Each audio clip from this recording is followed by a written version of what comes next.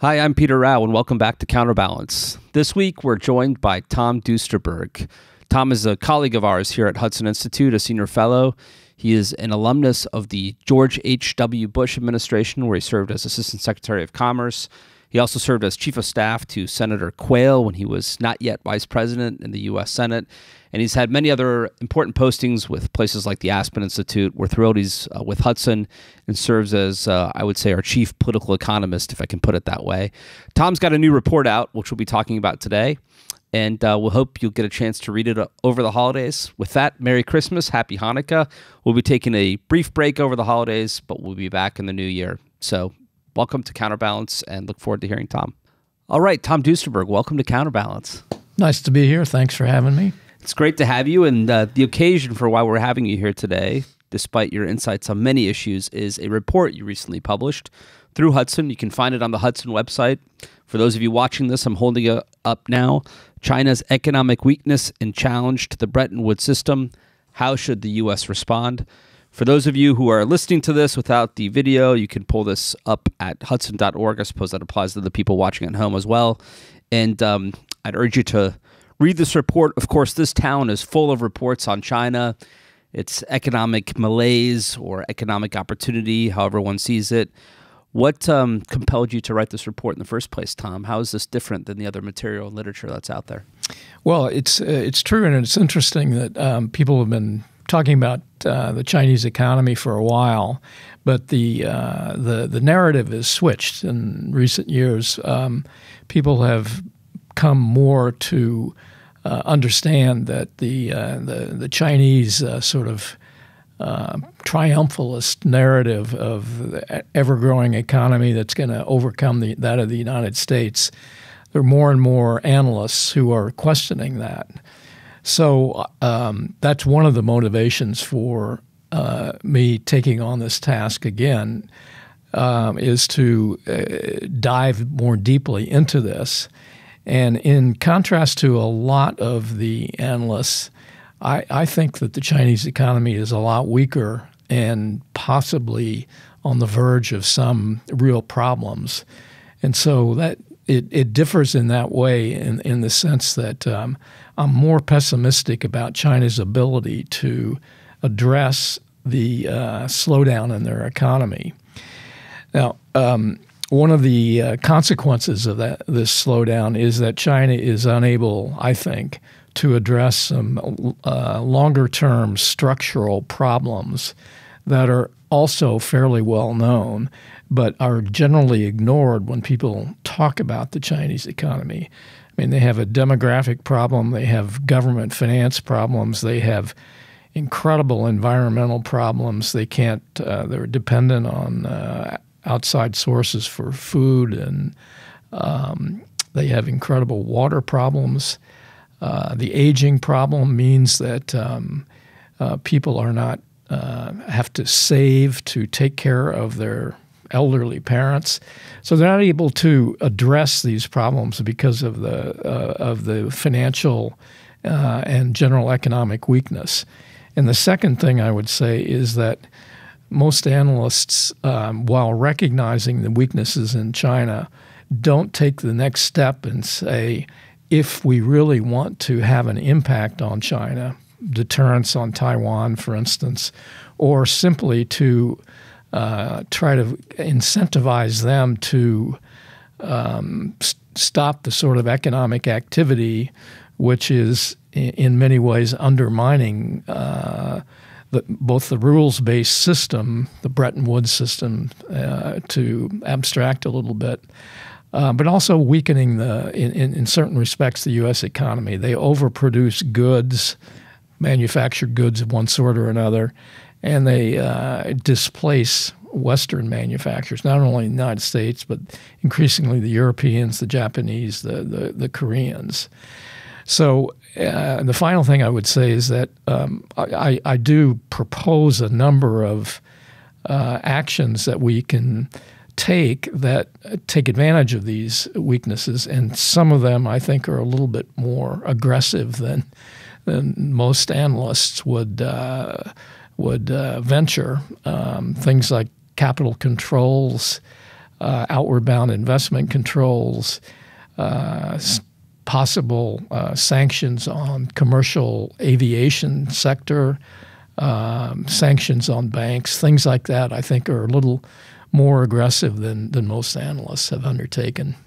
That's interesting to, to hear, in particular, how you think some of our economic steps and measures can shape China's uh, global ambitions, or perhaps not temper their ambitions, but at least at least constrain their behavior or their bad behavior. Um, but we'll get to all that in a minute. I, I, was struck reading the reports. There are a few really; um, these aren't even necessarily connected, but few really sort of startling statistics um, that you noted that I just wanted to raise for our, our listeners and viewers. One is, and this is rather stunning. While about 15% of the U.S. population, you wrote, Tom, so over 50 million people is comprised of immigrants, and in Canada, the number is even higher at 21%. In Germany, it's at 18.8%. The number for China is slightly over 1 million people, or barely 0.1%. You've already raised the water number. That also really struck me. Data for 2018, you revealed, showed that water management authorities graded some 86% of the water in available in China at levels four or five, and level five is unusable for any purposes.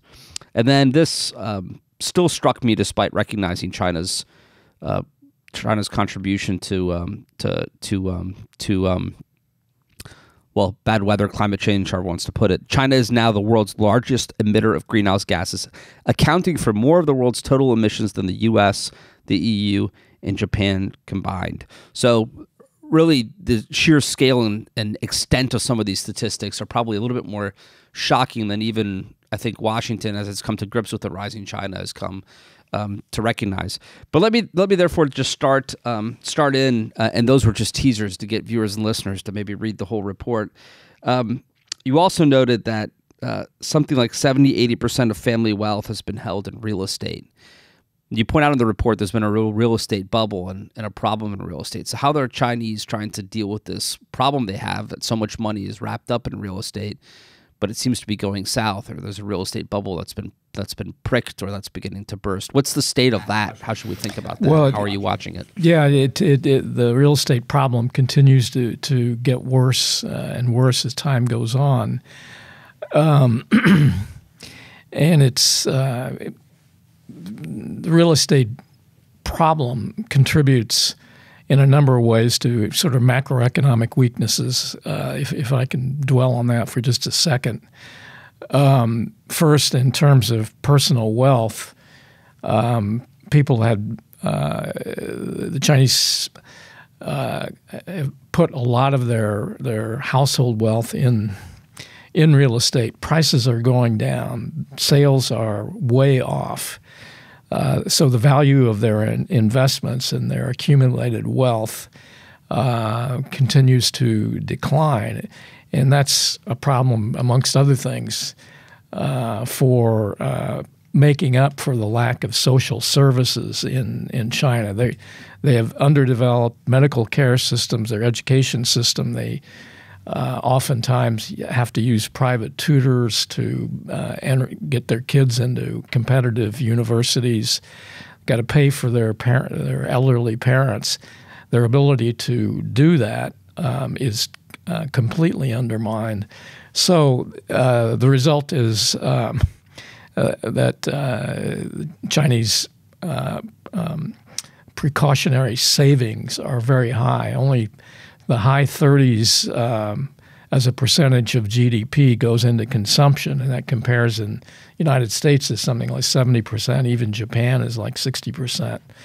So China's not able to um, rely on its consumers to uh, advance its economy. But a lot of production, little consumption, probably leads to dumping a lot of goods onto the world market. Uh, ex- exactly. That's that's the other major um, um, uh, problem, and because uh, China has, in the last 10, 12 years, uh, nearly quadrupled its its uh, its uh, uh, national debt. I mean, that and that debt is spread out between the federal government, the local governments, and the private sector. But especially the government finances are are, are really weak, so they are unable to do the sort of stimulus like we did in uh, the post COVID environment. We spent, I don't know how many trillions here in the United States to uh, revitalize growth in our economy. Uh, some good results, some bad results, but uh, China's just un- unable to do that. And so, there, what they would do in the past would be to open up credit, for instance, to the real estate sector uh, to revitalize growth or to uh, build new airports and bridges and roads uh, as a means to stimulate growth. They're just unable to do that anymore.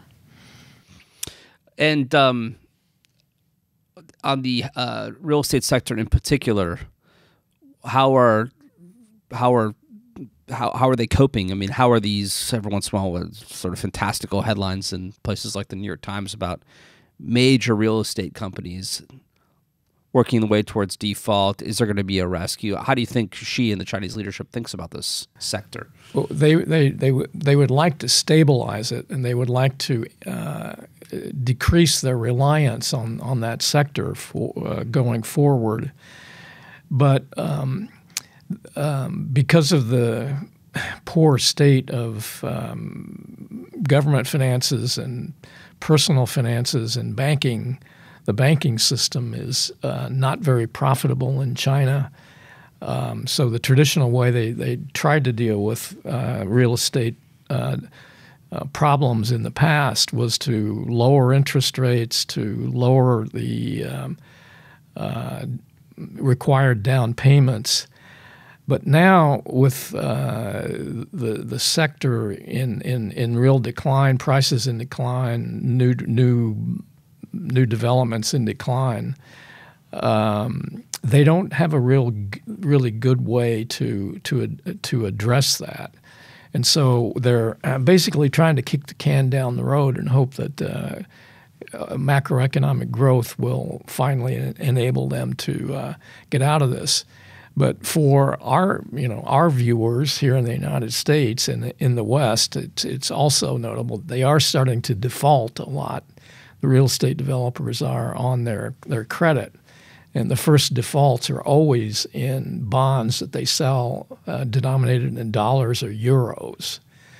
So um, they can extend the loans uh, that are denominated in renminbi, the Chinese currency, but they're starting to to uh, disadvantage uh, Western investors uh, that had ventured into uh, Chinese real estate. I think that's a real problem for us, for our financial sector, um, for our banks, uh, for our investment funds that uh, go into China. And are heavily exposed to China? Not that heavily exposed. I mean, as a percent of, of all investments, but um, you know, when um, five um, percent of your assets go bad, you know that that's a problem for a, for a bank. That's a, a problem for a bond fund. So uh, it hurts, and um, uh, you know it doesn't. I mean, it help, hurts China in the sense that one of the ways they're trying to work their way out of the current uh, financial problems is to rely more on Western investments uh, into China, you know, through um, selling stock, selling bonds, but they're hurting themselves. They're they're uh, shooting themselves in the foot by defaulting on the, all this Western denominated uh, loans. And presumably the the political decisions of to consolidate power under President Xi cuts against the sort of investment environment that would attract Western monies. So if there are raids being taken on uh, accounting firms or Moody is telling its employees to work from home because a credit rating cut is about to take place and they are worried about a raid. All of that has to, in addition to first hitting your your your, your foreign uh, investors and, and default, all of that has to deter some of this investment. No? Yeah, it sure does. Um, and we're seeing that. Uh, we are. Um, for the first time in decades, uh, Western money is on a net basis being pulled out of China. Um, in the first nine months of this year, there was a net uh, net outflow of uh, Western Western money.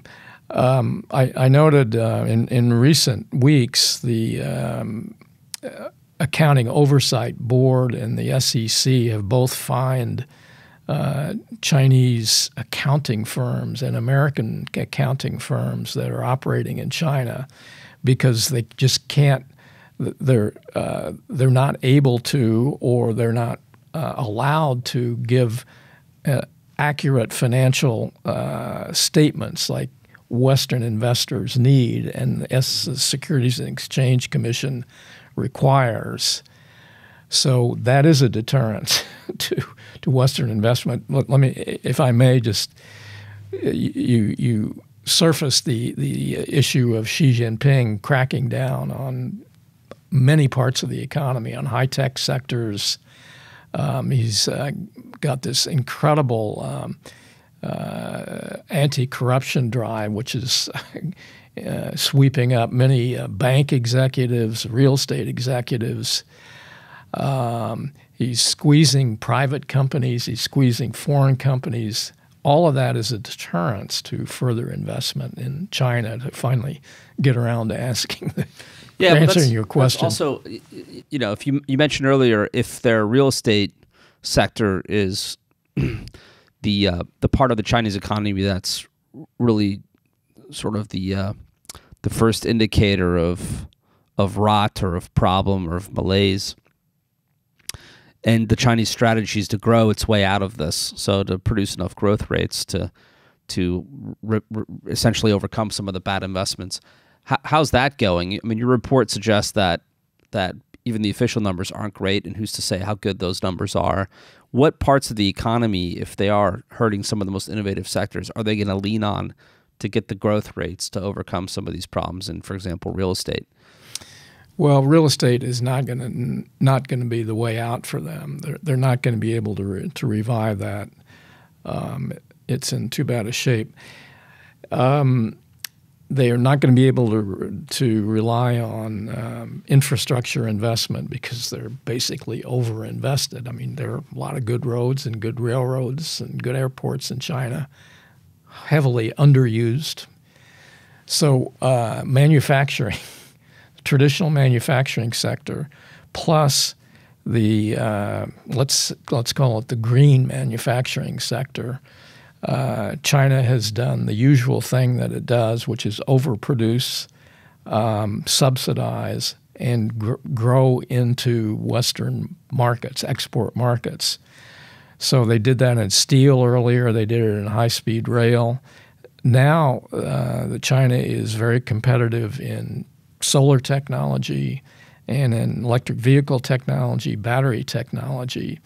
So that's the cutting edge, I think, going forward of um, sort of the tensions that are we're going to have with China because Europeans too. Oh, the Europeans in a big way. I mean, the European auto sector, as you know as well as I, is in grave danger of being uh, undermined by EVs coming in from uh, from China. It's already 15% of the European auto market and the Europeans have discovered uh, how bad uh, trade deficits are. Uh, Ursula von der Leyen just traveled to to Beijing along with Charles Michel, of course, the Commission and Council President, and they raised this issue with the Chinese. Uh, all the reports from those meetings were that the Chinese uh, essentially wanted to paper over differences and you know keep the export markets available to themselves. So um, interesting to see though how both in Washington and in Brussels those tensions are rising in a real way. Yeah, and hopefully, um, hopefully we can work more constructively with our European counterparts to push back against Chinese overproduction, subsidization. Uh, you mentioned von der Leyen; she um, uh, self-initiated a anti-dumping case uh, against Chinese electric vehicles, and I'm morally certain the United States will join that case, but that's where we're headed. I think in in the trade field, at least, is uh, probably some some real tensions over uh, green technology. So um, that brings us to what you said in your opening, which is that we can use economic levers to potentially shape political decisions. Can you expand on that a little bit?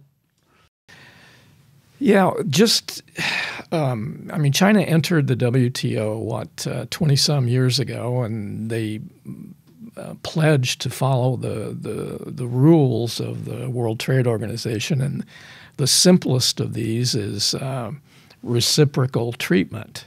Uh, also, uh, limits on subsidization, severe limits on subsidization, is another benchmark um, uh, value of the World Trade Organization. And China has systematically undermined both of those. So, given the um, the practice that we have developed and the traditions we have developed to um, try to uh, eliminate subsidies, uh, eliminate unfair treatment, uh, asymmetric treatment, one sort or another. I think that gives us an enormous uh, amount of um, scope to push back on China. Tariffs, anti dumping cases, um, but also um,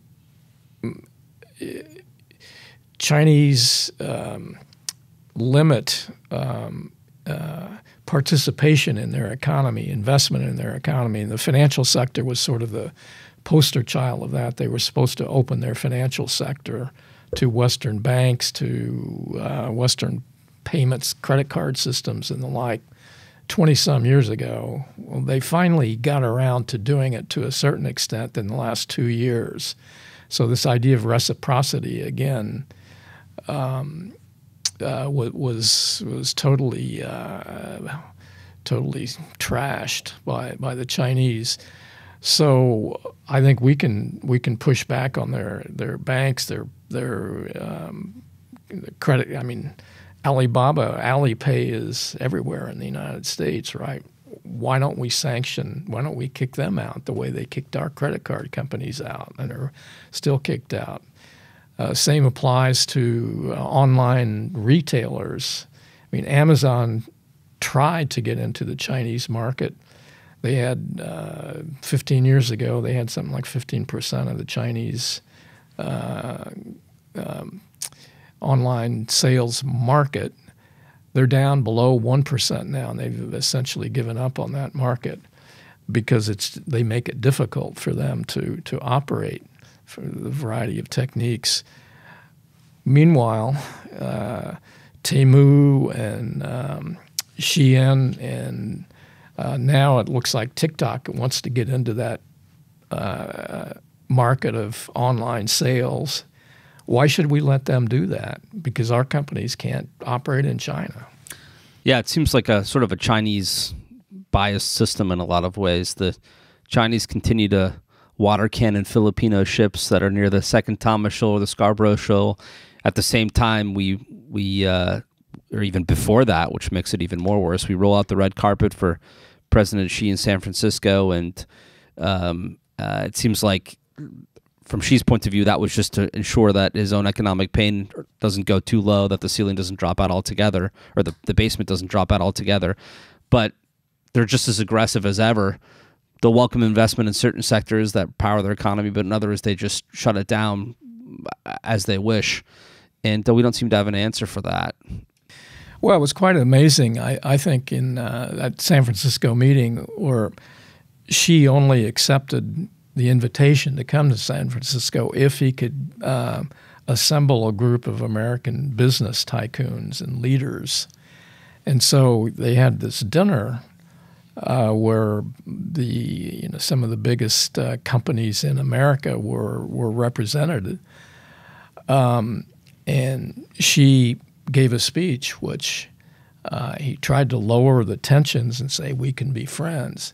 He didn't give any ground on any part of the Chinese yeah. uh, the substantive problems that we have accessing their market.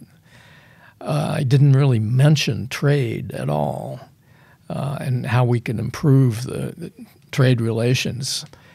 Um, and I think that's an indicator that uh, that whole summit was just for for the Chinese window dressing, lowering the tensions, trying to make sure that, as, as you said, the bottom doesn't drop out of the uh, the relationship, i.e., the markets for Chinese goods uh, in services, increasingly services. So um, we have some.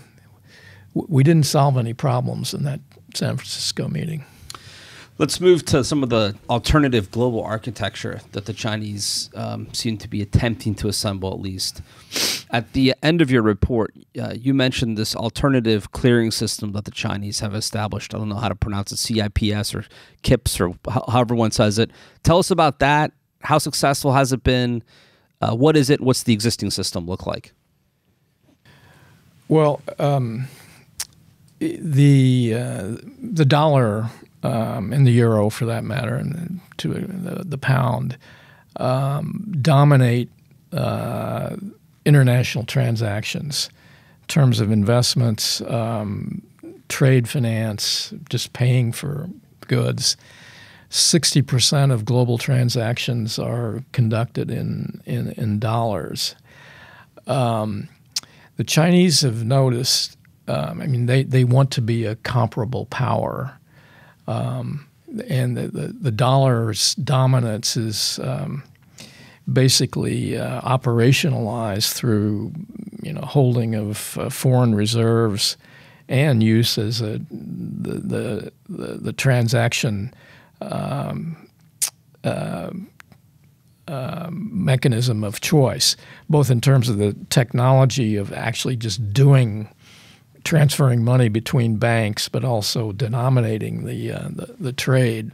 So the Chinese noticed that um, the United States uh, has uh, uh utilized that uh, dominance to um, put sanctions in place against um, illicit behavior of one sort or another, sanctioned behavior, starting with North Korea, uh, Iran, uh, lesser extent uh, Venezuela, and now Russia.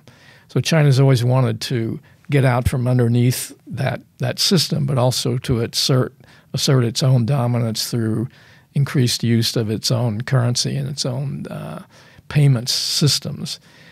Uh, so they, they do have an alternative um, payment systems, which you correctly identified in CIPS, um, and a communications technology, which just basically is uh, uh, is the the uh, grease that um, uh, enables transactions to take place. So um, after this has been in place for ten years plus. Uh, but it's been totally um, underutilized and unsuccessful so far. Only uh, about two to two to three percent of global transactions are done through this mechanism, and also um, why is that? Uh, there's no confidence uh, that holding uh, Chinese currency is a stable situation because uh, Chinese uh, control the um, the value of the currency. It's been depreciating lately, but more importantly, it's it's not convertible. If you hold uh, RMB in China or wherever it is, you can't automatically uh, convert it into uh, dollars.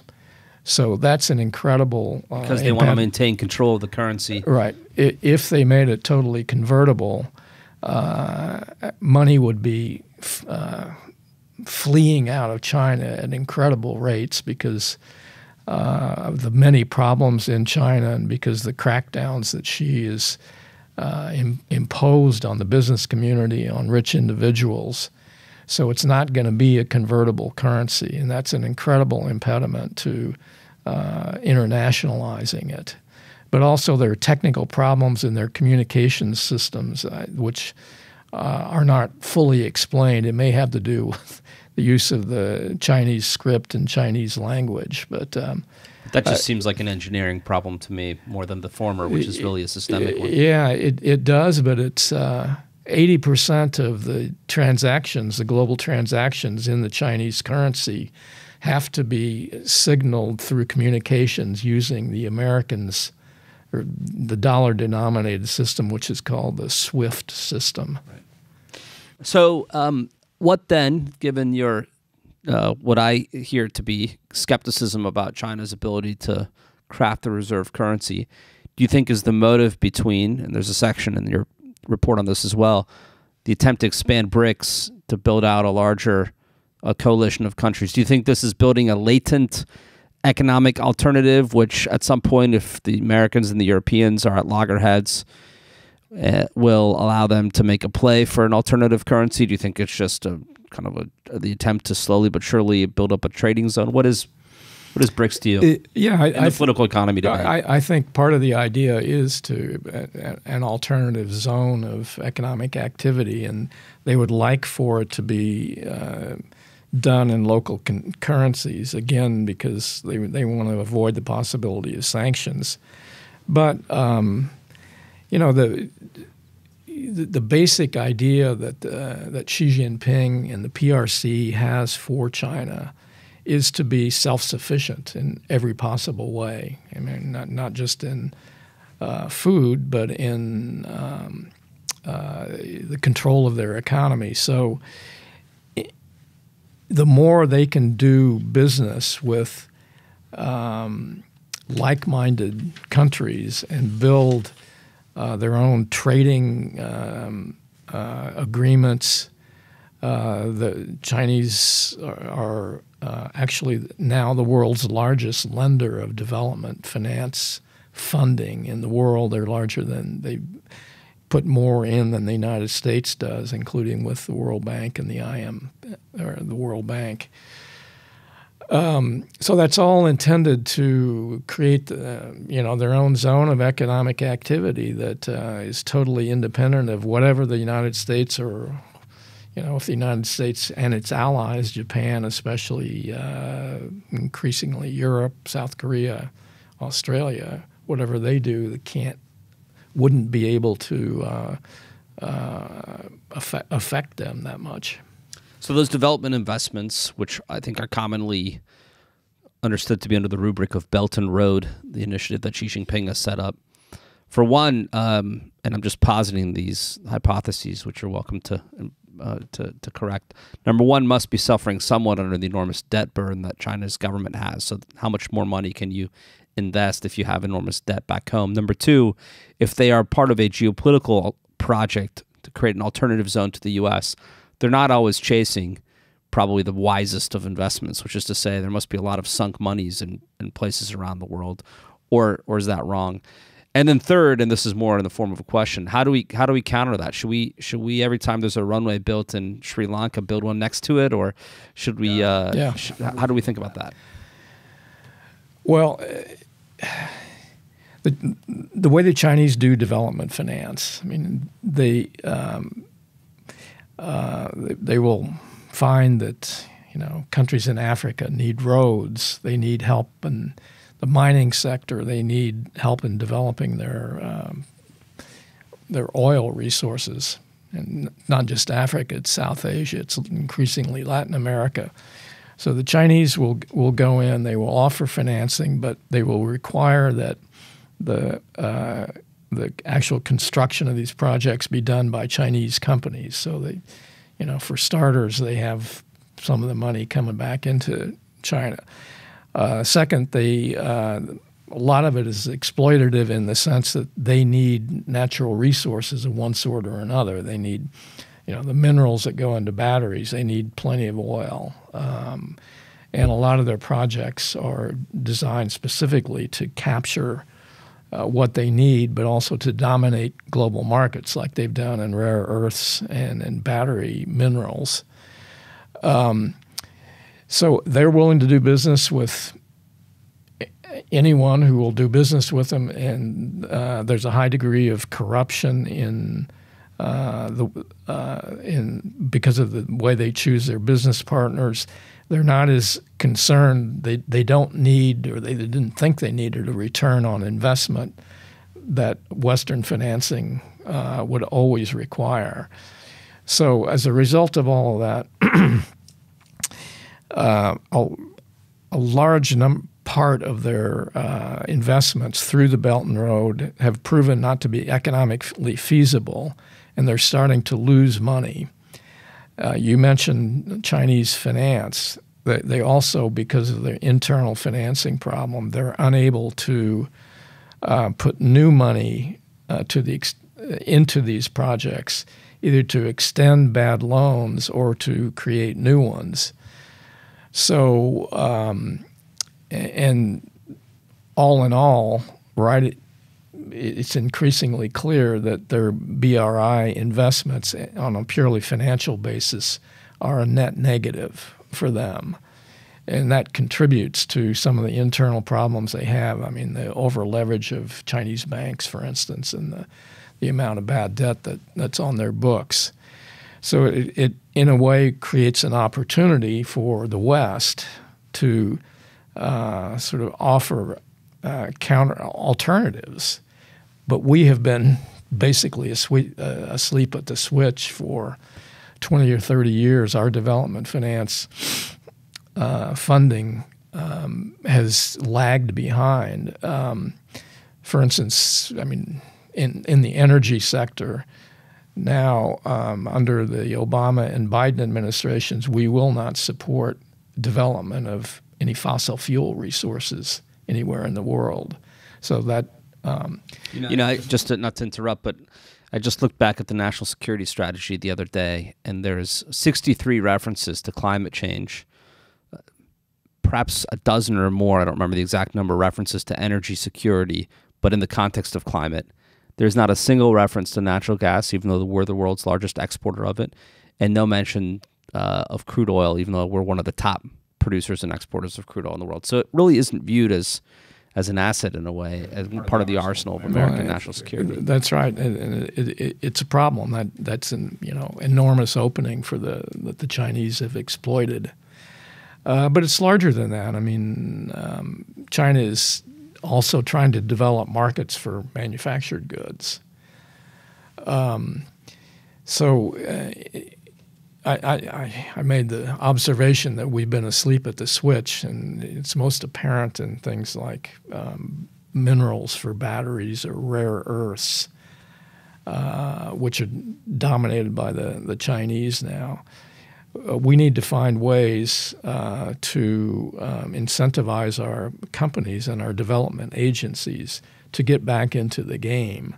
There's been rhetorical support for this at the last couple G7 meetings, for instance, something like uh, close to a trillion dollars has been pledged by the U.S. and its allies, the G7 allies, for development finance, and a large part of that is clearly intended to be an alter- find alternative projects to um, to the Belt and Road Initiative. Is the political will there and the money there to actually make that happen? I think that remains to be seen. Um, but that's that's a project for us going forward. So you're, so you're for essentially targeted approaches for areas that are critical to American national security, but we don't, we don't have, to rebuild every harbor and uh, no every every runway. No, um, and w- we could be successful uh, if we uh, don't impose, you know, our own construction companies right. and try to, uh, you know, totally profit from this and make it more in the interests of developing countries to develop their own resources and to benefit from their own resources. And that, in the long run, would have political consequences for us. For instance, as, as you know better than I, uh, you know, in the Ukraine war, the Israeli, uh, the Hamas uh, attacks on uh, on Israel, votes in the United Nations are interesting because China has kind of bought its way into um, you know many many developing countries, and they su- they will support China in the in the in in the UN on some of these. Uh, uh, important votes about about these uh, wars of aggression. So the, so Biden, the Biden administration has issued a few uh, uh, export controls on, um, uh, or put in place a few new regulations on on investments, I should say, um, which they're proud of. I've seen statements from, for example, Chairman Gallagher, a friend of the programs, who's criticized it as not nearly enough. Can you um, tell our viewers and listeners what is CFIUS? What is reverse CFIUS? Are we good at it? Is it a good idea? Do we need more of it? Give us the lay of the land.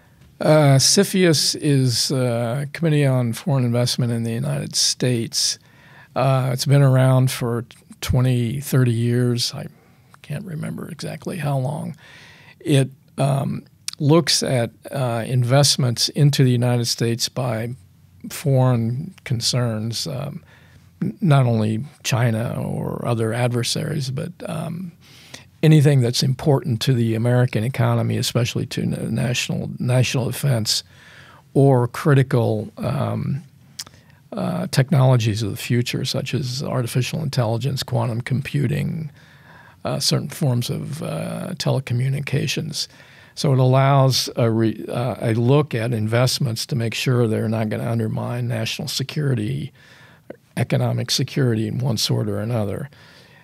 That's incoming money. We've never uh, done done the reverse until uh, a Biden administration um, uh, executive order this summer started what's called a reverse CFIUS, where we can look at uh, investments by American uh, companies, by American investment houses, uh, venture capital houses that go into developing uh, technologies or industries in adversary countries. I mean, especially China, but not only China. I mean, it's Russia, it's Iran, it's uh, North Korea.